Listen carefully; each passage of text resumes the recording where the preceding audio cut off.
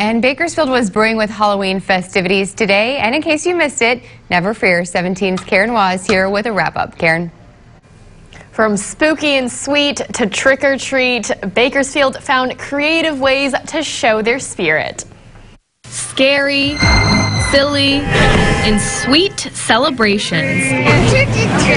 For two nights, Safe Halloween at the Kern County Museum was a hit. More than 20 community organizations gave out candy in a family friendly environment. To see people in the community come out, have a very safe space, we get to see all the little goose, ghosts and goblins come out, and it's just a great time. At the BPD headquarters, a line formed out the door for the department's first ever trick or treat meet and greet. This is real spooky, alright.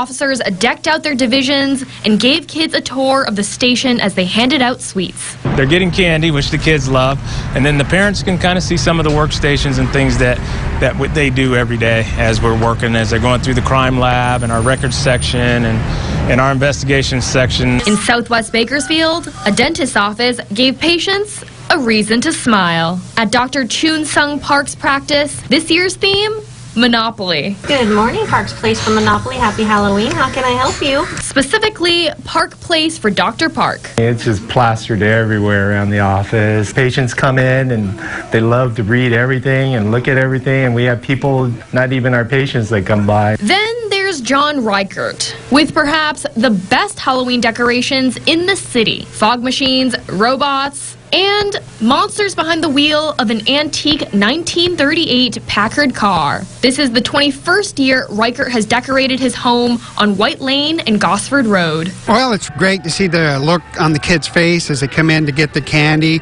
I make them go through the garage now, so they have to go farther up. Last Halloween, more than 500 people came just to marvel at his display.